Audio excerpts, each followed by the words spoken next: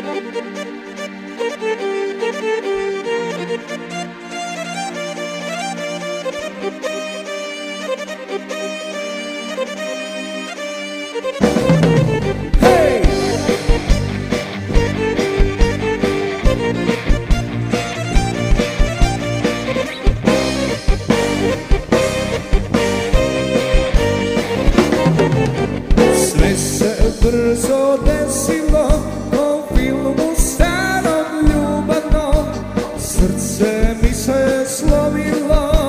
Ko grom da me pogodio.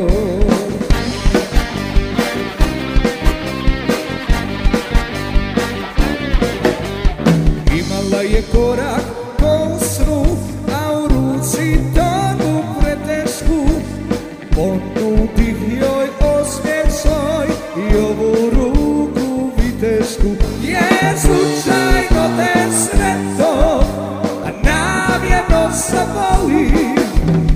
I baš neću da te prebolim